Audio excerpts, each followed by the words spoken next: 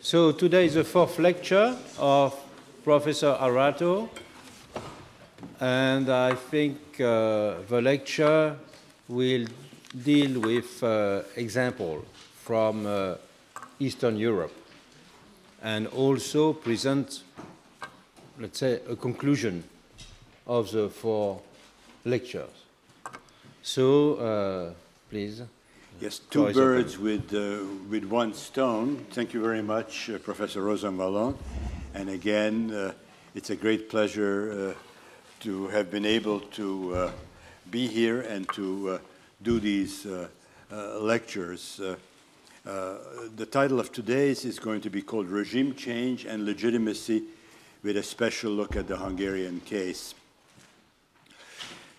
Transitions to democracy and constitution making forms. Ever since 1989, the question whether the transitions to democracy in Central Europe were revolutions has been an intense subject of debate. Behind this debate lies a rigid alternative of reform or revolution.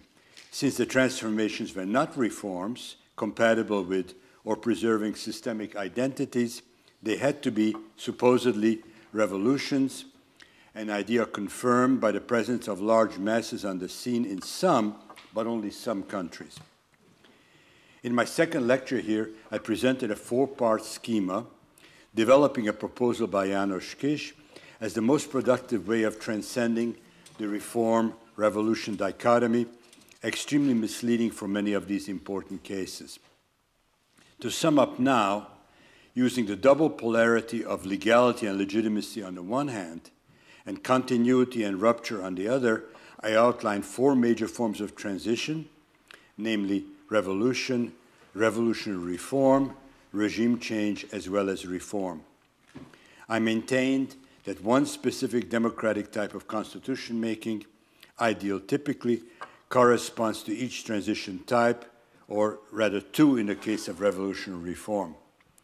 I call these forms, these five forms in effect, Constituent Assembly and Convention, plebiscitary, parliamentary, and roundtable-led forms. Last time, relying on an immanent critique of two social scientific theories, uh, hegemonic preservation and insurance theories, I introduced the key contrast between self-interested particularistic conversion and universalistic guarantees, and concluded that the normative advantage of the roundtable lies in its production of legitimacy based on likely, though not inevitable, combinations of empirical veil of ignorance, inclusion, usual illegality, publicity, and competitive elections. It is this theme that I wish to resume today. After casting a brief glance at the return of reform and revolution, I would like to show how the legitimacy problem allows us to understand the deformation and defeat, possibly temporary, of the roundtable model in Hungary. But first, I want to speak about legitimacy in more general terms. Again, I believe the core gain of the roundtable uh, led regime change model has to do with the generation of political legitimacy. This gain is not always actualized, however. When it is not, the success of the model is under threat. I have in mind legitimation in the sociological rather than the philosophical sense even if the two cannot be separated entirely. Thus, it is a matter of justifications of rule empirically available, one that the citizens, groups, and administrative staffs are likely to find valid under the given historical circumstances. This should not be confused with legitimacy as a normative matter from the point of view of moral philosophical reflection. One perspective is from the observer's point of view, the other focuses on the probable views of participants, the legitimacy offerings of elites, and the chances of acceptance by others. While legitimacy from a philosophical point of view can even be imputed to constitutions on the basis of their content, legitimacy from the sociological point of view is more likely to depend, in part at least, on the process of constitution making. Even an otherwise acceptable liberal democratic constitution is open to challenge based on the manner that it was made. While the philosophical meaning of legitimacy of constitutions can perhaps be ascertained from the liberal point of view, the sociological has an internal relationship to the democratic one. However, as Habermas once realized, an analysis focusing on sociological legitimacy, unless it is to work through unreliable surveys, cannot entirely dispense with normative considerations. This has, however, mainly an epistemic or hermeneutic rather than normative function in helping to identify the norms in society or in a process that are meant to play and can play a legitimation role in the sociological sense. It is important not to substitute the analyst's own views of what is legitimate and illegitimate for the views of the relevant actors, but to use the former, the analyst's views, as the basis of interpretation to discover what empirically can and cannot be made legitimate. But only the existence of social contestation concerning legitimacy can confirm that the analyst's discovery of legitimation problems is based on empirical insight rather than normative projection. This means that normative considerations of legitimacy or illegitimacy too can be said to have an effect on legitimacy in the empirical sense, thus on deficits and crises of legitimation, but only if important actors in politics turn the normative into the empirical. To ascertain that this is happening requires a two step analytical procedure first normative and then empirical. According to the logic of my scheme and of the four forms, only revolution and regime change involve full ruptures of legitimacy. Thus, it might seem, uh, thus it might seem have problems of legitimation to solve. To the extent, however, that a new constitution is to be made, in my view, all the forms have significant legitimation problems, even if the protagonists of the Round Table seem to be the only ones fully aware of these. In the case of reform, a simple mechanical constitutional amendment by a legally established legislature using the existing revision rule admittedly has no legitimation problems. Here, Max Weber's legal legitimacy is sufficient. When, however, that rule, that same rule, is used to replace a whole constitution, that raises important normative questions among participants, especially where such an option, such an option was not explicitly provided for. Written constitutions and the distinction between constituent, constituent and constituted powers have been historically introduced to limit the ability of incumbent governing authorities to change the fundamental rules of the game and a, and a reform that does so is prima facie problematic. This was the great insight of the Indian judges of the basic structure doctrine fame, who did not even have codified eternity rules to rely on. The problem is only exacerbated when the ease of replacement is facilitated by highly disproportionate electoral outcomes and an easy one dimensional amendment rule. In the case of revolutions, to be sure, new revolutionary legitimacy is generated, linked to the processes of liberation by an often charismatic elite or leadership. Here, the high level involvement of the masses in the overthrow of an old regime can establish a kind of identity between liberating elites and large population sectors. Nevertheless, in a complex society, there may be large scale agreement concerning what should be replaced, but less likely concerning what should be put in its place. The friend enemy relations thus quickly alter in the midst of revolutions. When an elite imagines that its earlier credits earn it the right to dominate the constituent process and to impose a constitution through either minority will or even a narrow majority, there is likely to be broad opposition to these efforts. Revolutions not only start almost definitionally in civil war, but can also lead to new ones, as in France in the 1790s and Russia after the dissolution of the Constituent Assembly. This is a sign of a contest around legitimacy, and the repressive nature of post revolutionary regimes is a tacit admission of a fundamental legitimation problem of the need to replace hegemony by domination, using Gramsci's terms. With the exception of the American cases and Western Germany, it is variously systemic and normative problems that undermine legitimacy for what I call revolutionary reforms. The plebiscitary mode shares its normative problems with revolution. Moreover, given the instability of plebiscitary democratic support resting on momentary states of will and the weakness of its representative capacity, the model is likely to suffer from an aggrieved version of the problem of dual democratic legitimacy analyzed by Juan Linz in the case of presidential regimes. Even when democratic legislatures are suspended, many citizens are likely to find alternative and more plausible instances of representation in civil society often religious elites. The, repress the, repressive nature of such politics is again the likely testimony to this. But even the Republican option, the one that Bruce Ackerman analyzed, centering on constitutional conventions, has a serious difficulty when legal rules are ruptured, as it was clear around the time of the adoption of the US federal constitution. Moreover, as I argued in my first lecture, unless there is great normative and even sociological homogeneity among the various Republican institutions, as in that one American case.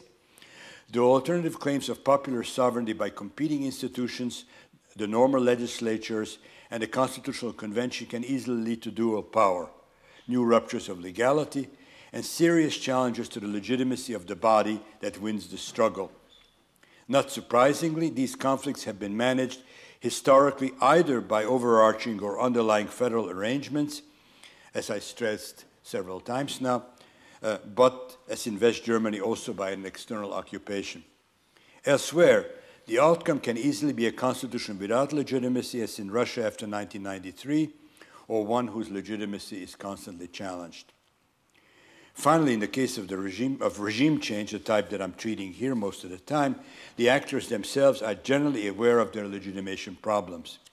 This is a great advantage and leads, I believe, to the superiority of this model. Negotiating with old regime actors who have lost their legitimacy, including new ones in agreement with the old, excluding others, making agreements whose quid pro quo character can be justified only in terms of a strategic modus vivendi, are all problematic from the point of view of democratic legitimacy, and the main actors recognize it as such. This is why, at its best, this model turns out to be a factory of legitimation, introducing elements like public openness, inclusion of new participants, fully consensual decision rules, as well as treating the fictional legality of old regimes as actual, as if they could be made elements of the rule of law. And even this is not enough. The participants also tend to affirm the merely provisional nature of their constitutional product, their inability to completely substitute for free elections, and the making of the final constitution by those elected under these rules. While it is not only unproblematic but logically required to establish an independent body enforcing the initial agreement, it is equally important to make these agreements in such a way that the final process retains its open and democratic quality. Thus, in general, the big exception here is South Africa, the enforcement is limited only to procedural aspects. The return of reform and revolution. While I do claim normative advantage for the roundtable model in both empirical and philosophical senses, I have repeatedly insisted also here on its bad determined nature that puts it somewhere between American exceptionalism and a universal method, probably impossible, that would be practicable anywhere at any time. In particular, reform must already have failed with revolutionary overthrow being or being seen as impossible before forces on government and opposition sides consent to the kind of negotiation process that characterizes the roundtable form. Even after such a mutual consent, it generally takes relative equality of forces and or serious uncertainty about the future to produce a constitutional result, as I argued last time. So what happens where either reform or revolution are possible? Does the paradigm that I stress lose its relevance? There are two reasons why this is not the case that I will only illustrate today. First, there is the international transmission of ideas that is certainly a clue to why in distant South Africa a model is adopted so similar to Spanish, Polish, Hungarian, and Bulgarian forerunners. This aspect, stressed by Heinz Klug, does not necessarily stop at the door of revolution and reform. I have written on the adoption of the multi stage interim final format in Iraq, where, in my view, there was an externally imposed revolution. While that adoption was coupled with deformation, we cannot easily tell whether the deformation was caused by the externally imposed or the revolutionary character. In Nepal, for example, there was also a legal rupture, and negotiations for an interim constitution took place only among oppositional forces. This process, though made difficult by the intensity of identity politics, could still succeed. Reform, too, has reappeared in our time. While sometimes considered impossible, as the case of Mexico shows, reiterated liberalizing reforms over a long period can also produce replacement of regimes. Nevertheless, the legitimation problems of reform as well as revolution insisted on here remain. This is shown by the failure of Turkey so far, itself a case of successful, reiterated partial reforms between 1995 and 2002 to produce an entirely new civilian constitution that has been now demanded by the EU. Abandoning the consensual process characteristic of the early phase, the present governing party has so far managed to push through only questionable packages of amendments with the help of referenda. The Turkish case reveals the second way the new paradigm can become relevant beyond its own type of path. Given the existence of partially democratic and constitutionalist constitutions, the two stage process and the making of an interim constitution are hardly conceivable or necessary here as against revolutionary cases like Iraq and Nepal. But I insist nothing would stop detaching the legitimation framework of the roundtable form and utilizing it under new, perhaps innovative institutional conditions. I have recommended one such a scheme in Turkey already, combining forms taken from the convention and the roundtable both. At issue is not the specific model that I cooked up. What I insist on is that the forms of legality, inclusion, public openness, and involvement, as well as the election of the last drafting assembly in elections primarily for that purpose, is possible even under revolution and reform. In Turkey, we see some signs that at least partially uh, we see some signs that at least partially the legitimation scheme I have in mind is being followed. Returning to the older Turkish pattern, a parliamentary reconciliation commission has been formed based on the parity of four parties. There have been an extens extensive and serious public and civil society consultation as well. Let us hope that there will be a result, one that the parliamentary majority can live with. This majority just misses the three fifths threshold and thus cannot pass a constitution on its own, unlike in 2011, even with the help of a referendum. But it can veto a consensual product, thereby producing nothing, as we will see from the history of the Hungarian case, to which I now turn. The Hungarian case and its relationship to the new paradigm. There have been several types of challenges difficult to reconcile with one another to treating the Hungarian process as an example of the new paradigm of transition and constitution making. The first points to its uniquely fragmented or, or patchwork character. Another to the achievement of what seems to be a permanent constitution already in 1989. Yet another, looking at this document formalistically as the amendment of the 1949 Constitution, denies that there has been constitutional replacement at all. Finally, another, still only partially compatible with the previous, treats the Roundtable agreements as a corrupt bargain in which the previous elite dominated. This is incidentally a point of view also present in that previous elite, the ex Communist Party, but with reverse evaluation, choosing to regard the new as the result of, the mere, of mere reform. The study of the history of what has been achieved and how it was done, possibly, possible fortunately on the basis of the available sources, leads to the rejection of all these claims. Nevertheless, the Hungarian case is unique. As I have argued elsewhere, of the major components of the developed model, it has satisfied all but one the completion of the second stage in terms of the free election of a non sovereign constitutional assembly and the production of a final constitution. The effort to make the final constitution in 1994 and 1996 failed, nor do I regard the so called fundamental law recently enacted as the conclusion and completion of the model, but as I will explain, its subversion by a process of illegitimate reform. This to me is a serious matter from the point of view of political legitimacy. The Hungarian model, as many participants of the Roundtable realized, has all the legitimation difficulties of this model in general, adding some Hungarian specificities. None of the participants were democratically elected. I'm talking about 1989 now. The old ruling party played a more important role than in some other cases.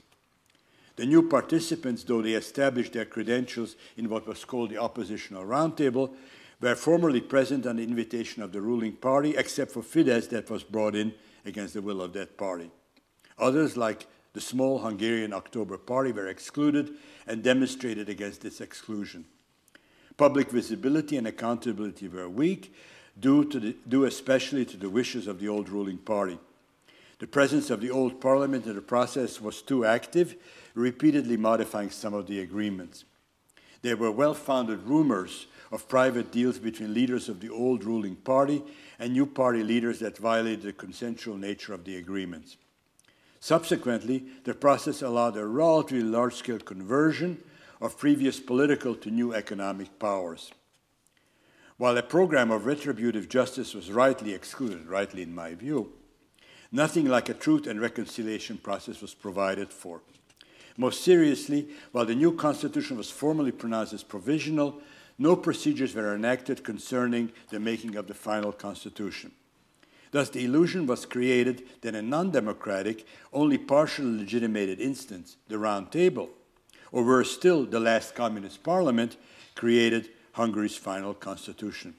At the same time, leaving the single chamber amendment rule of the 1949 constitution in place, the expectation was created that governments in power, power will repeatedly modify the new constitution according to their shifting interests as incumbents. This idea was confirmed by the Pact of 1990 of two opposing parties, SZDSZ and MDF, with less than 50% of the popular vote, that modified the constitution substantially without, however, producing an entirely new one. I do not say that the process was therefore not legitimated at all, as part of the right has always claimed, and Fidesz repeats now. The inclusion of nine very different participants in the roundtable was a wider one than anywhere in Central Europe. The plenary sessions, at least, were public. The rule of law was rigorously maintained, and the referendum of 1989 overcame the corrupt bargain concerning the election of the President of the Republic. That was the only moment of popular participation in the process important for that very reason. But to produce the full political legitimacy associated with the model, its completion would have been, would have been very desirable. This could have been done even without the initial enactment of the necessary rules by using the existing amendment rule to produce new rules. It was important, however, in this process to avoid even the appearance that a new constitution would be expressing merely incumbent advantage and a desire for the political preservation of power. The imposition of a new constitution by electoral winners was indeed avoided in 1995 to 1996, with a coalition having over 70% of the seats enacting highly consensual rules for constitution making.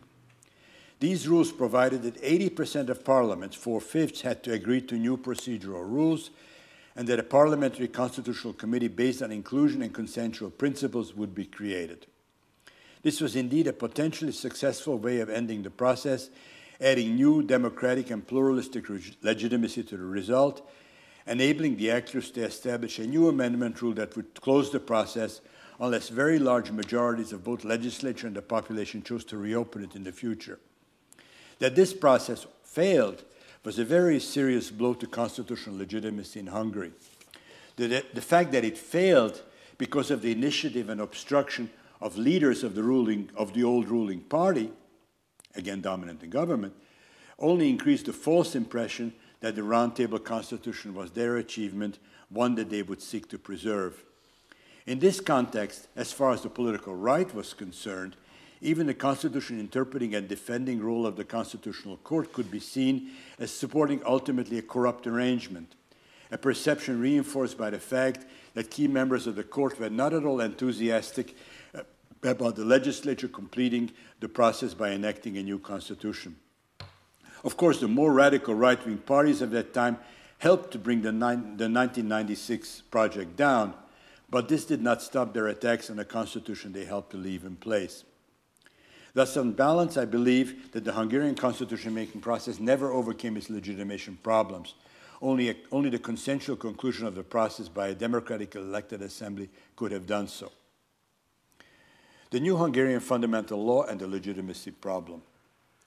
In my interpretation, the sociological legitimacy of the Constitution was not satisfied either by the appeal to legality or to fundamental liberal and democratic norms incorporated in the document. I'm pretty confident that the survey literature from a now 20 year period dealing with constitutional values and their acceptance would sustain this judgment. What I focus on instead and did from the early 1990s is the challenge from the right that I considered in part unjustified because misconstruing the facts and achievements of the roundtable process, but justified to the extent that the defenders of the new regime did not satisfy the initial promises explicit in constitutional text as well as implicit in their very procedures in both 1989 and 1996. This promise was one to replace the bargained constitution by a democratic as well as consensual one. Such is the heart of, of the sociological legitimacy problem, and it opened the door to István Csurka's critique in the 1990s, as well as Viktor Orban's in 2010. Thus, Orban's so-called revolution of the voting booth is a true inheritor of the earlier demand for a second revolution. The existence of a disproportional electoral rule, along with the old amendment rule of the Constitution implying parliamentary sovereignty, only made the job of the new revolutionaries more easy. Let us look at the process the Fidesz-led government engaged in in the making of the new fundamental law. I will use my earlier typology here not to make a fetish of classification, but in order to pinpoint the legitimation problems of the making of a new fundamental law. While some will argue that this process represents the missing completion of the roundtable paradigm, I very strongly disagree with this and wish to provide the interpretive grounds for the disagreement based on comparative and theoretical considerations. I believe that it is essential to the constitution making method linked to the new paradigm of transition stressed here that it is post-organ sovereign in all of its stages and as a whole, that none of the protagonists of the several stages, the round table, the normal parliament, and the constitutional court, claim to fully embody the will of the sovereign people. No organ of state or government is supposed to be sovereign without limitations. In Hungary now, one organ, Parliament, did explicitly claim to fully embody the sovereign constituent power of the Hungarian people. While not elected as such, nor given any kind of mandate to produce a new constitution, Parliament declared itself formally a sovereign constituent assembly on the basis of barely more than 50% of the votes to its majority. Consistently with that conception, the rule established in 1995-96, the four-fifths rule I refer to, requiring consensus among parties beyond the government alone, was not only disregarded, but was explicitly repealed by two-thirds of the vote. Four-fifths rule repealed by a two-thirds vote. That move would have been unconstitutional prima facie, but was not really vulnerable to invalidation because of the previous, in my view, mistaken declarations of the Constitutional Court rejecting amendment review. In any case, the Fidesz government made impossible its litigation through packing the constitutional courts by eventually six new members. This, this, removed the only check of parliamentary sovereignty in the Hungarian system, the court, whose jurisdiction was already curtailed by amendment earlier in that year. Comparison with the 1995 process that remained under the jurisdiction of the court is again instructive. So was it a process that, while not completing the earlier regime change, reenacted its logic. The use of the old amendment rule and the challenge to the existing constitution's legitimacy in the preamble of the new fundamental law, as inconsistent as these two acts were, point in the direction marked by legal continuity legitimation break. With respect to the constitution making procedure, however, this Fidesz led process, unlike the one started in 1989, had only one stage, only one major agent, and as already said, organ sovereignty was asserted. Thus, not only one, but many features of the new paradigm were not present, thus, we cannot even speak of a marginal case here. There also cannot be a question uh, here of recourse to two other transition types the options of revolutionary reform and revolution. Both require ruptures of legality, and I do not think that the limited illegalities involved can be interpreted as a legal rupture. Revolution also requires break with the old principle of legitimacy and the building of a new one. This was inconsistently claimed here, but without serious foundations. Not only was the legitimation rupture not as complete as in revolutions, whatever claims made by the preamble, there was no other legitimation principle proposed than parliamentary sovereignty embodying popular sovereignty, and this, alas, was already established in the 1989-1990 regime, if inconsistently, given especially the creation of such a strong constitutional court. Accordingly, the new fundamental law in its final provisions claims authority for its makers on the basis of the very amendment rule in place since 1949, something that was not done even in 1989. The Round Table did not claim its authority to recommend from any provision of the 1949 Constitution to which it was unknown as an institution. It is true, as in 1989, this amendment rule was used to produce a completely new constitutional text, but this time there were a lot fewer substantive changes. If 1989 was not a revolution, and it was not, then neither was 2010. It was not even a counter revolution, despite the presence of a genuine counter revolutionary force, Jobbik, in parliament, a party that, by the way, did not support the new draft. At most, it is contrary revolution in the sense of Joseph de Maistre, that is reversing revolutionary results by methods other than a revolution. So reform is left as the main possibility. Accordingly, I first interpreted the fundamental law as a particularly large amendment package, package similar to one enacted in Turkey in the previous year that also involved packing of the court and alteration of its powers. But it was pointed out to me that I also wanted to say that the fundamental law threatened many aspects of the rule of law state and thus involve potentially replacement of regimes that would be incompatible with reform. But I add only with legitimate reform. It's under the basic structure doctrine, ordinary amendments that threaten fundamental components and therefore the identity of the Constitution are indeed illegitimate. In India, they're also illegal or have been made illegal by a long tradition of court precedents, even without explicit textual guidance, as by, it, as by the eternity clauses of the Grundgesetz and the Turkish Constitution of 1982. The problem in Hungary, there's neither a relevant set of precedents nor appropriate codification entrenching parts or principles of the Constitution on a higher level than the rest. Thus, what remains to be said is that the fundamental law and its enactment were legal but illegitimate, or in the very peculiar British usage, unconstitutional but legal. Thus, the process Fidesz pushed through was on the whole legal. That is why I call it reform. But again, it, was not legitimate in part because of its own claims rejecting the legitimacy of its own ground, and in part because of how it was done.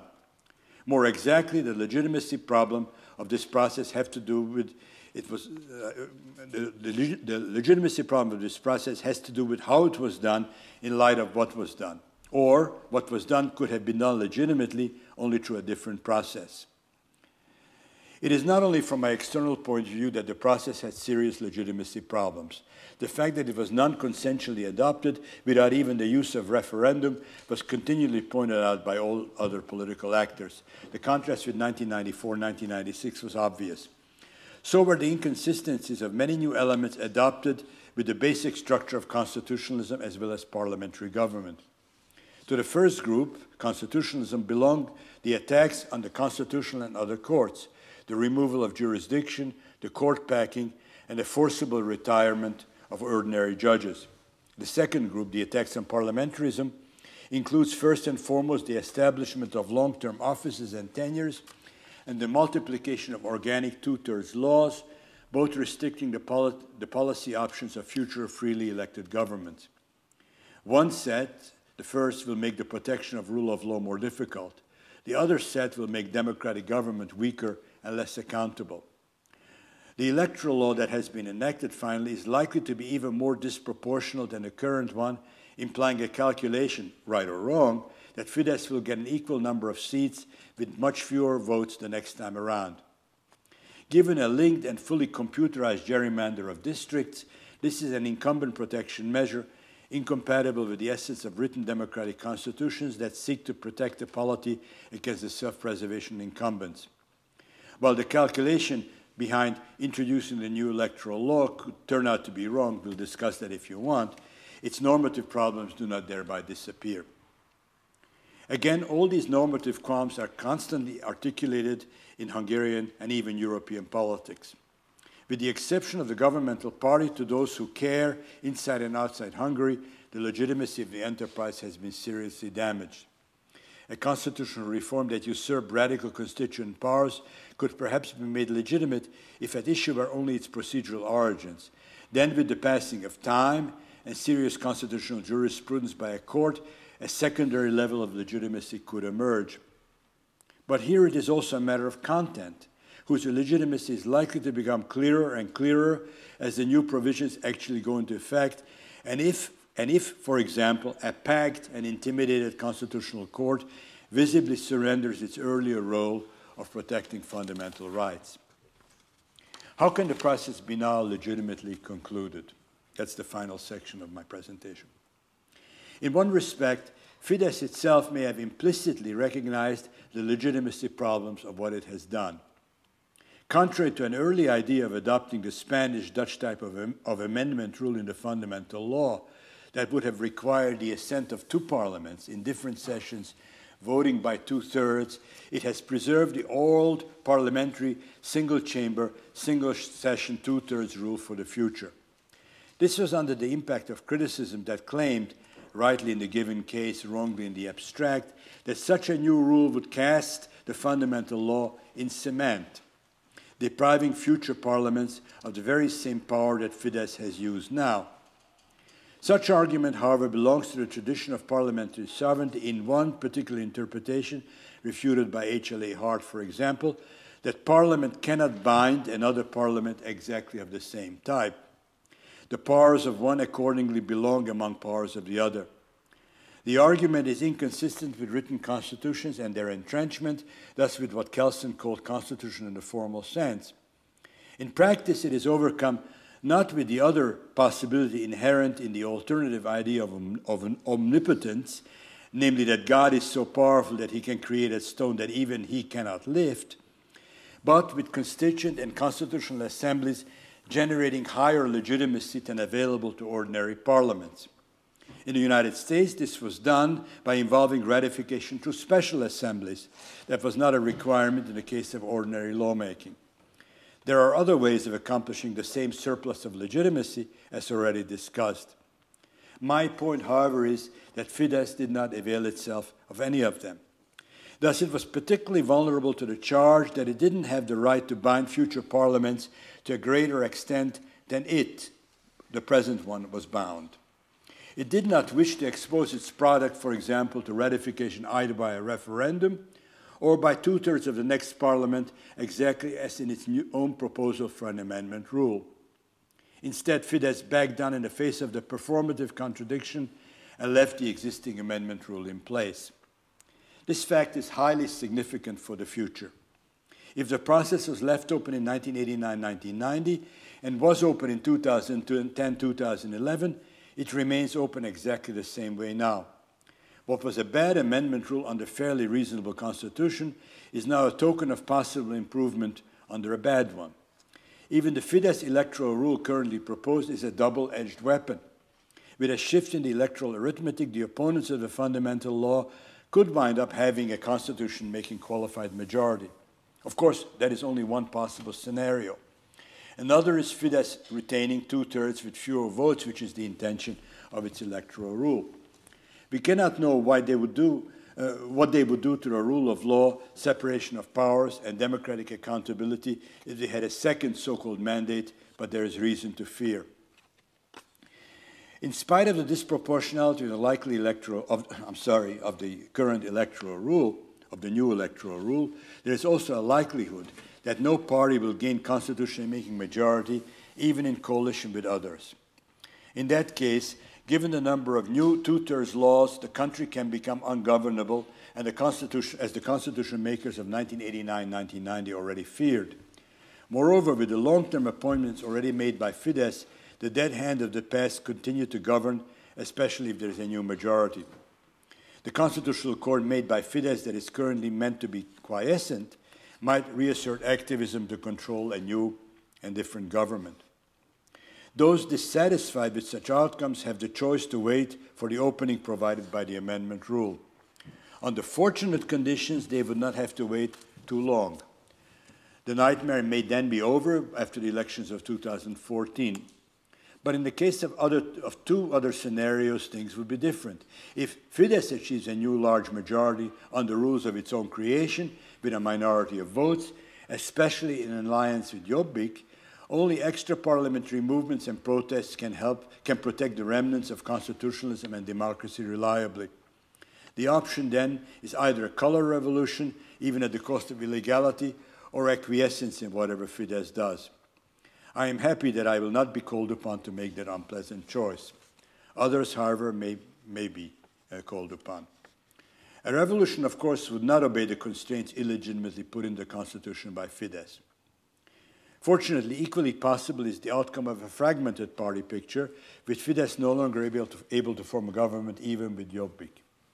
A new coalition government would still have to face the hurdles established in the fundamental law and thus the problem of ungovernability. Under these conditions, much would depend on the availability of a right wing force outside of Fidesz or emerging from its midst, capable of making a new constitutional compromise with other parties. That could take the form of a new roundtable, a constitutional convention, or even a return to the rules of 1994 1996 to produce a new constitution. All this can be done legally by using the amendment rule of the fundamental law, Uh, to produce a new constitution making and ratification rules. Such a legal regime change would, however, assume that two thirds of the votes in Parliament are available or attainable. Many of the right will have to be convinced, and even here, extra parliamentary movements and pressure would have a role to play. The problem would be less serious by far if the new government had the two thirds, though even then, a widest possible, a widest possible inclusion of other forces as against the effort of 2011 would still be highly desirable. The difficulty arises only if there is neither two thirds nor a right wing partner. In that case, the unpleasant choice of revolution, the Republican form of revolutionary reform, or passive acceptance of ungovernability remain three options now for a new government in place. I do not know what would be my choice. The best of these three options would be perhaps revolutionary reform involving one specific break in legality, probably in the form of the temporary restoration of the Constitution of 1989-1990, and entrusting a new body, a convention, or a roundtable to recommend a new draft that could be passed by a referendum if the parliamentary votes are unavailable. I am afraid, however, such a double differentiation of constitution drafting and legislative bodies has little tradition outside the United States and some Latin American countries. A democratically elected parliament cannot easily defer to another elected body uh, to the extent as did the Communist Parliament of 1989, that also did so rather unwillingly. Thus, revolution or a radical version of revolutionary reform are more probable scenarios with the parliament again taking constituent power for itself, this time under a legal break, break with the full repudiation of the constitution, the fundamental law. Unfortunately, revolutions, even the color ones, are only exceptionally the foundations for constitutional democracy. But as I argued today briefly, even revolution could, in its stages subsequent to legal break, adopt legitimation principles generated by the process of a regime change in Hungary and especially elsewhere, in Poland, Bulgaria, and South Africa, inclusion, publicity, and subsequent legality, and perhaps ratification by either a new constituent body or the new parliament.